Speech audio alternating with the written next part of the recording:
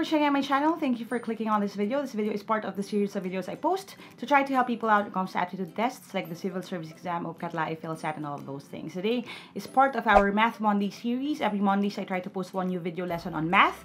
And today we're going to talk about a technique that I've been using since way back when I was a kid. So when I started out using math, ginagamit na namin ito. And I actually talked about this in one of my earlier videos in the old channel. Pero I figured it's time for a revamp. And I also want to, show you guys kung paano ito gamitin in bigger numbers. And that technique is called chunking. So guys, if you don't want to miss any of the new videos I will be posting, marami pang nakapila, don't forget to hit subscribe and hit the bell icon para malaman ninyo as soon as the new video is ready for you guys. Alright? So today we're going to talk about chunking. It's a speed math technique and I'm also going to give you an exercise then. The link will be at the end of the video. So I would love for you guys to participate and really uh, make the most of all of these free resources I have in line for you. So in order for me to explain that better, I'm going to switch over to my PC so I can show you how to do it. I'll see you in a bit. Alright, so this is our lesson on chunking. If you have uh, yung ating workbook number one, this is going to be on the first page nitong workbook na ito. And again, it's not an update to an older video that I made in the older channel. So I really hope na uh, magamit nyo ito. Okay, now if in case you don't have the workbook, that's okay uh, I prepared a quick quiz na libre for this video. You can find it at the end of the video. So sa dulo makakita kayo ng uh, thumbnail to the quick quiz. You can click that para makapag-practice din kayo. Okay? Now, if in case you're interested to get this uh, workbook and the other viewers that I made, you can go to www.facebook.com slash teamlaika for that. Okay? Now, if you have the workbook, you can turn to your page 1 to follow along dito sa examples na ito. Okay? Now, ang pinaka-operating concept ng chunking is this.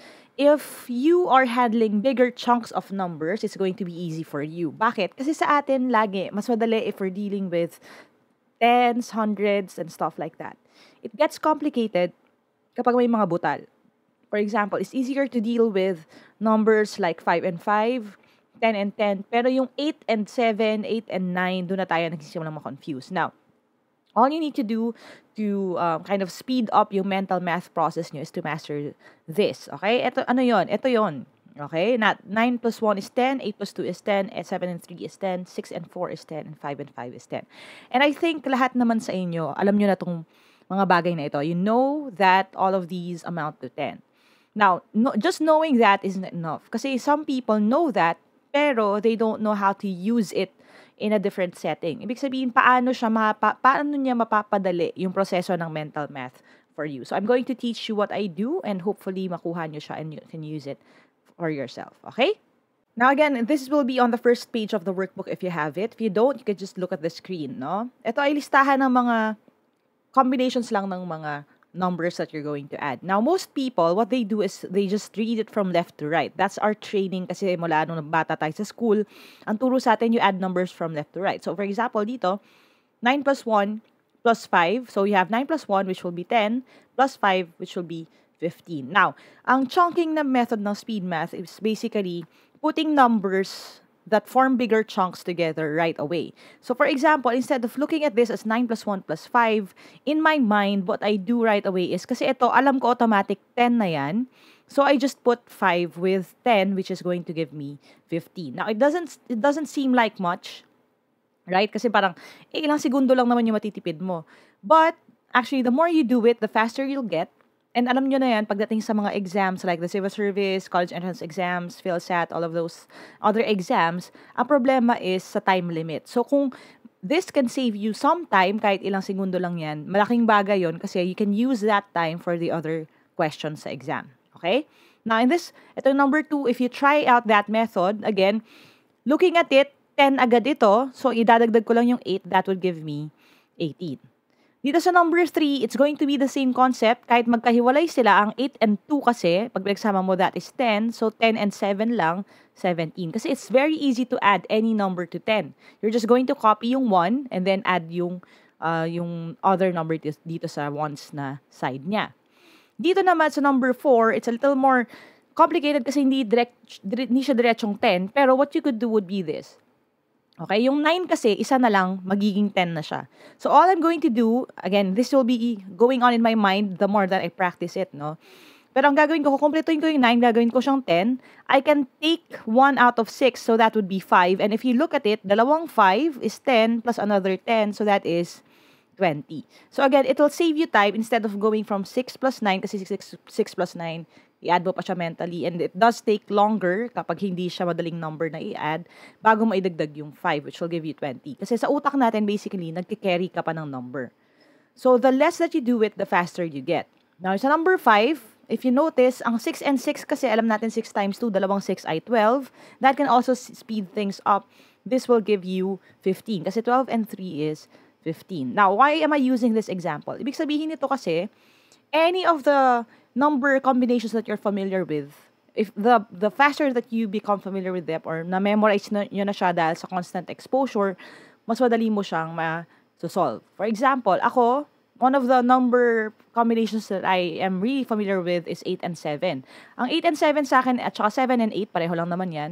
Automatic, alam ko yan, that is 15. Hindi ko na siya ina-add, memorize ko na lang talaga siya because of the number of times that I encountered the same number. So again, these are things that you can keep doing and the faster you do it, and the more you do it, the faster you get. Now, how do you practice it? Now, this is something I talked about in my first YouTube channel. This is what we call the plate number game. I used to play this with my twin sister. Kasi, yan, that's what we do, no? Kami kasi wala kaming mga brick game, wala kaming laruan, wala kaming Game Boy when we were younger. And we used to travel a lot. Kasi ang school namin was in Dituazon and then our house at the time was in Fairview. Kaya medyo malayo yung biyahe. And what we did kapag biyahe to keep ourselves occupied, okay? Kasi wala naman kaming ginagawa ang ginagawa namin is we play this game. This is what we call a plate number game. Basically, whenever we see a car, so may plate number siya, what we do is we add it. Okay? And again, using yung idea ng chunking, this will be really fast for you. Kasi bakit? Kasi itong 3 and 2, that is 5. This is another 5. So that's 10 agad. And then you put 9, that is 19. Again, that's going to teach you how to manipulate numbers to get the answers right away. Again, what we're talking about here, ang focus natin is speed. And the beauty about plate numbers is that, di ba, ang sasakyan kasi, hindi naman laging katapat yan. Minsan gumagalaw siya, no? Unless sobrang traffic. So, pag gumagalaw siya or dumadaan lang siya, napupwersa tayo to speed things up, to to force our minds to solve the problem really fast. And yung feeling na yon na nagmamadali ka kasi baka mawala yung number bago mo siya ma-add, that's what what's going to force your mind to be faster sa pag-solve ng math. So the next time that you solve a math problem, parang willing yung utak mo, ready na siya mag-click on doon sa, ano ba boss, mabilisan ba to? So mas magiging mas mabilis ka. Okay? And actually, that's also one of the reasons why I talk fast in the videos. And I know a lot of you complain about it. But uh, you have to understand that the faster, if you're, ano, if, if humahabol ka sa nagsasalita to try to understand it, it's actually forcing your brain to go faster than it normally does. So, natatrain yung brain ninyo to think faster. Okay? So, sometimes nga, di ba, when people complain na parang you speak too fast, I, I'm kind of inclined, parang gusto ko sabihin na, no, you're just, you're just thinking, thinking slow, okay? Or just under, understanding or hearing slow. Kasi um, tayo, 'di ba, pag mabilis minsan pag mabilis na mag, mag, yung nagsasalita, parang we get uncomfortable. So hindi na natin hinahabol or hindi natin pinipilit yung utak nating habulin yung sinasabi niya. And yung pagpilit na habulin yon, yung pag force sa sarili mo to be uncomfortable and chase after someone who's talking. That's actually what's going to train your mind to be faster than it is now. So yun din yung concept ng plate number game that if you play this game it will force your brain to solve math problems faster than you normally do. Okay, so let's try another one. Okay, all of these things pala I got off the internet, no? So, uh, hindi siya necessarily um, kinuha ko na picture. So, I got these from Google. So, ito naman, 8485. Again, you can do a number of things. Ito kasi 8 and 8. Alam ko, 8 times 2 is 16. So, dadagdag ko lang yung 4. Eh, ang 6 and 4 is 10. So, that is going to give me 20. And then, the 5 na natitira, it will give me 25. So, again, na minamanipulate natin yung numbers na hindi tayo nagsosolve across. Kasi kung hindi, this will be 8 plus 4 is 12 plus 8 plus 5. So, sometimes na-overload yung brain natin in thinking about that. Kasi, lumalagpas ka na sa 10. Okay? So, the key here is to make combinations para mas madali silang isolve. Okay? Let's try another one. Alright. This one, uh, so 2019, this is 10. And then you have 2, so you have 12. Okay? Kung gusto niya 20 and 19, that is 39 din. So again, uh, all of these combinations na pwede mong isolve mentally, that that's something that you could do. Okay, ako pag kaya traffic, ang ginagawa ko, again, I'm not, uh, pwede mo siyang isa-isang digit, so 2 plus 0 plus 1 plus 9, which will give you 12. And then I try na i-group sila together. So, pwedeng 20 and 19. So, that is 39. And then, pag hindi pa rin gumagalaw yung traffic, ginagawa ko 201 plus 9. So, that is 210. Okay? And again, the faster you get, you can switch it up to multiplication. Pwede kayong mag-factorial kasi that's what we did uh, when we were younger. So, nagsimula, nagsimula ako sa, sa addition, multiplication, tapos naging exponents para lang matrain ako to mentally solve prob- problem sa utak ko. Okay? Let's try another one. Oh, ito. So, 1, 4, 6. Again, this is going to give you 10. 4 and 6 is 10. So, 1, that is 11. Madaling-madali lang. And I'm, I'm hoping na nasa-solve nyo faster, no? And what I do, katulad ito, may 56 na number, nakakatuwa kasi 11 din siya. So, I, I always find patterns in stuff. So, ang dalawang 11, 11 times 2, madali lang naman 22. So, all of the numbers na combinations na pwede ko paglaruan dun sa number, that's what I do. Okay? Now here, ito medyo marami-rami. Again, you can do multiple things here. This right here, 8 and 2 is 10 already. So, may isa kang 10. And then, 2, 7, and 1, dahil ang 2, 1 ay 3 ta 7 yon that's another 10. So, again, just looking at it, alam mo agad, this is actually 20. So, yun yung pinaka-goal natin, to make things faster for you to process. Another one, right here. Okay. Um, here, we have 10 here, tapos you have 9 kasi 4 and 5 is 9. So, that is 19. Okay? So, yun lang yung pinaka um, concept nung chunking. And I hope na napipick up nyo to uh, kahit pa paano and you can challenge yourself. Now, for those who have younger kids, um, I have had students before na tinuro ko sa kanila to and I told them, encourage your kids to play with you. And I've had people tell me na parang, Coach, ayoko nang kalaro yung, yung anak ko kasi mas mabilis siya sa akin. And actually, that that thing right there would help your child be more confident sa school. Magiging mas confident sila sa math kasi unlike their classmates, they won't be scared of numbers. Okay? Kasi an, an, ang one of the reasons why people get so scared sa math is because nung bata sila, nahirapan na sila. So that kind of sets the tone for the rest of your life. And people make themselves believe that they are really bad at math when in fact, hindi lang sila masyadong, hindi lang tama yung attitude towards it or yung reaction towards it kasi nung bata pa lang na-traumatize na. So, yun yung um, encourage ko sa inyong gawin. You can use this, teach your kids, play with them, make it a game para, di ba, pag biyahe rin sila, they have something to do and they can get that confidence that they need in order for them to understand math better. Okay?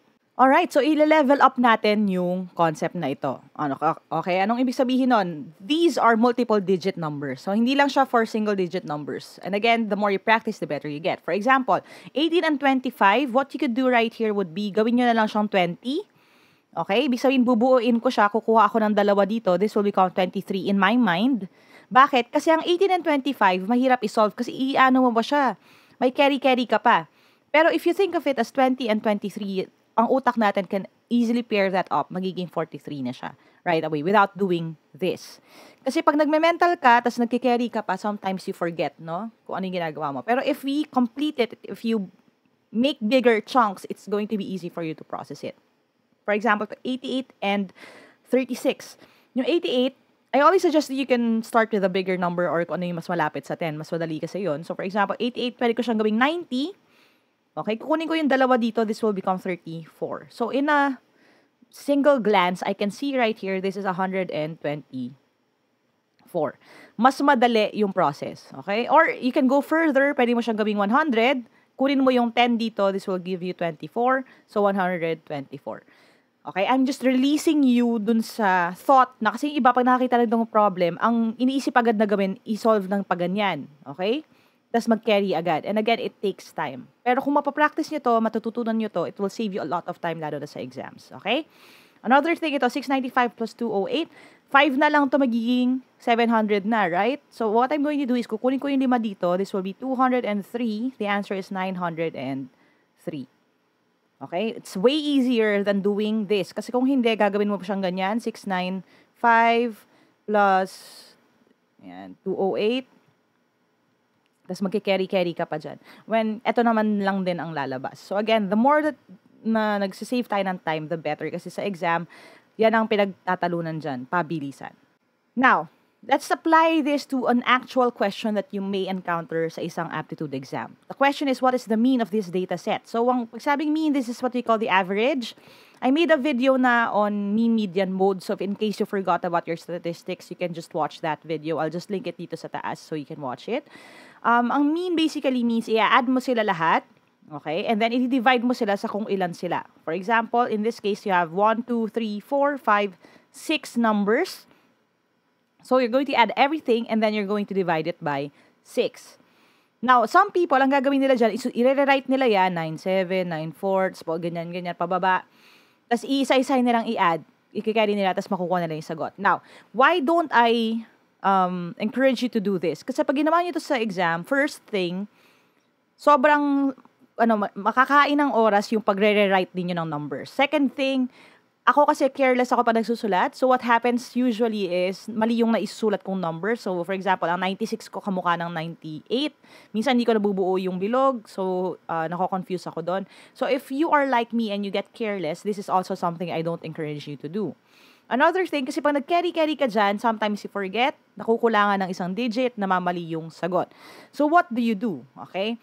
Uh, the key here is to complete the number. So, for example, 97, Di ba 3 na lang magiging 100 na siya?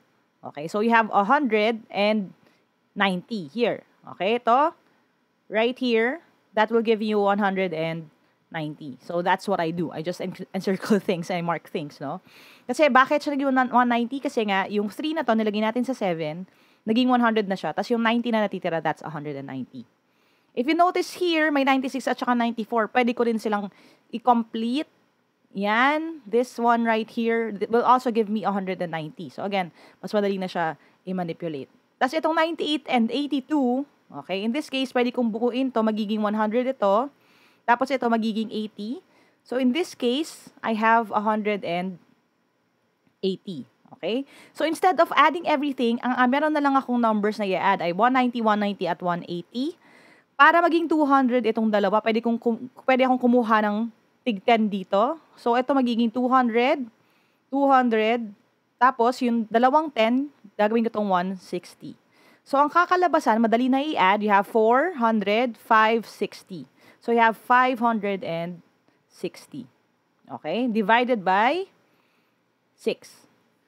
Again, mas mabilis ako nakarating dun sa sum instead of writing it every ng lahat tapos isolve mo siya ng pababa kasi it'll take time. So, sa usapan ng exam kung saan nagmamadali ang lahat, this will be your, um, this will be your your trick. This will be your technique para mas makasave kayo ng time. So, you can just divide this. It's going to give you 9. So, uh, 9, 9 and 6 is 54. Tapos you have 20 right here. So, 6, 12, 18, 93. At dahil, okay, yan lang naman ng, isa lang naman ng may 93. Sorry yan, nagloloko na yung tablet ko, napagod na. So, 93 point something yan. So, the answer is letter B. Stop. Make sure to share this video with your friends, lalo na kung mag-exam din sila para mas marami tayong matulungan. And as always, if you want to reach out to me directly, you can go to www.facebook.com slash teamlaika for more information on the upcoming live review events, the online review program, or if you want to, to get one of the reviewers that I made personally. I'd love to hear back from you guys. And as always, if hindi pa kayo nakasubscribe, hit subscribe, hit the bell icon para hindi nyo mamiss yung mga susunod. Marami pa akong planong magagandang lessons for you guys. Thanks guys for watching. Aja Aja, never stop learning. I'll see you in the next video and bye for now.